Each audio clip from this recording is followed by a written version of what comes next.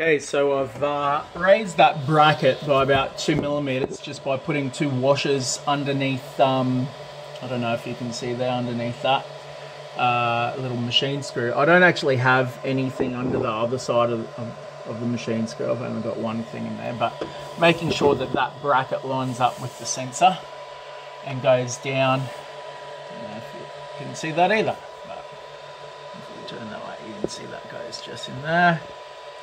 Okay, and um, so we're going to go through this now, this full process. So we'll just go, you don't do a leveling first, okay? You go straight to um, settings. Um, and we're doing this uh, in case you've put a longer nozzle in um, with a hot end. This one's not, but you'll get the idea anyway. What we're doing, uh, we've done this to get extra clearance between the nozzle and the bed so it doesn't fail when we put in larger settings. So uh, extruder calibration is what we want. Now, once you go into extruder calibration, you do have to go through the whole process because it has just reset itself to zero. Um, and uh, that's important.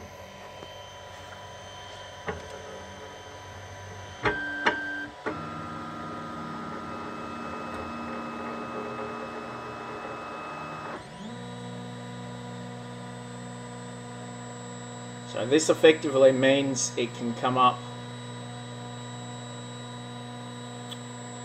a bit higher. Now maybe I should have done a... This will do. This will work it out. So this, this extruder calibration changes the distance between what the machine knows as the bed height and the nozzle. Okay, so so it's working out the distance from the nozzle to the base sensor essentially. Now what we've done, we haven't moved the sensor. The sensor is still in the same position there, but by moving that um, bracket up a bit higher, then it's going to effectively go down a bit lower. Um, and that's important if we have a longer nozzle. Okay, but with this one you'll see it doesn't really matter too much, but it just means that we can set a um, set a longer distance between it and the nozzle, okay? Okay, so now we'll adjust the position. So uh, we always go negative. And so I'll just keep clicking on that negative. I'll put the camera here so we can see. Okay, so normally you will go to about, I think it's 2.6.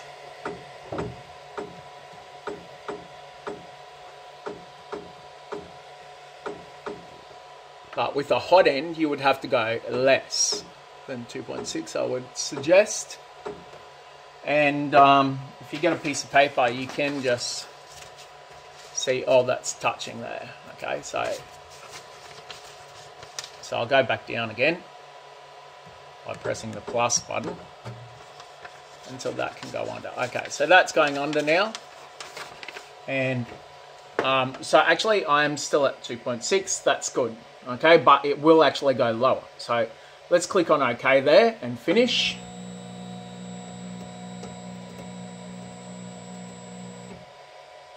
And so now that we've done the extruder calibration, we have to go to the level. And this is where it's going to go back down further than it used to. So, uh, so this means that um, with a longer nozzle, you won't need to you'll have the more clearance that you need to um, to be able to calibrate it. Okay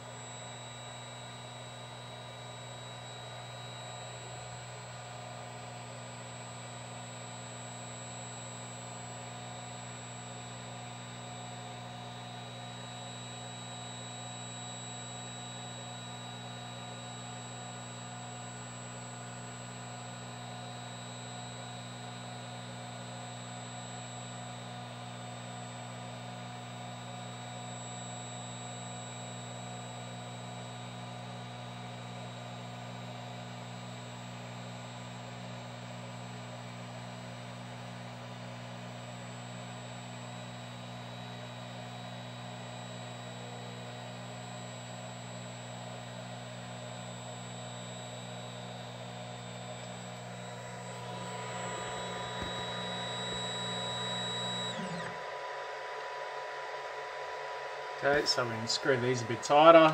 I normally just go a couple turns, but we have changed the sensor, so uh, I don't think we need to tighten it at all.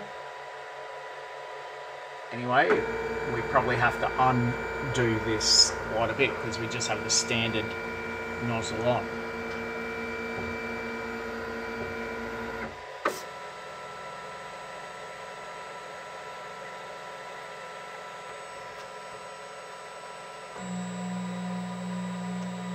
Okay, so that was nowhere near the switch. So yes, so that has worked successfully.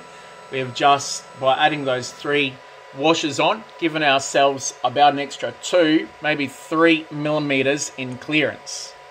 And so if extra clearance is what you need, then that is what you should be doing. And you can see by me undoing those springs so far, that's exactly what I've done. It is.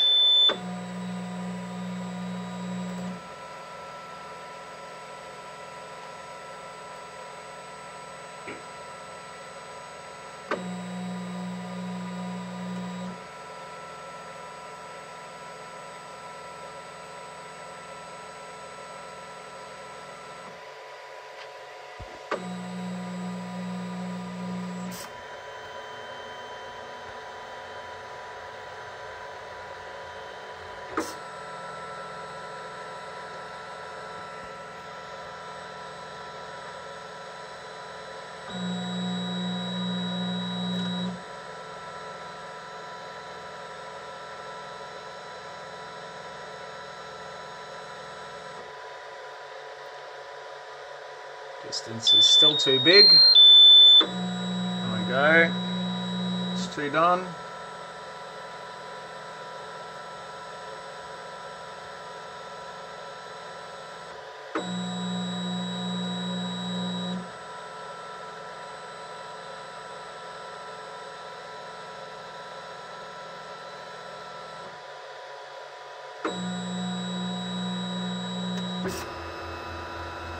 Now the back one.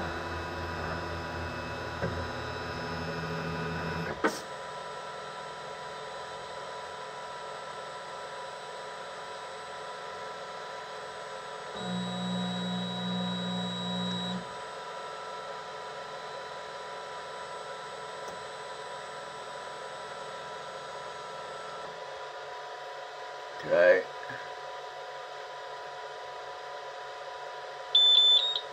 Oh. Verify.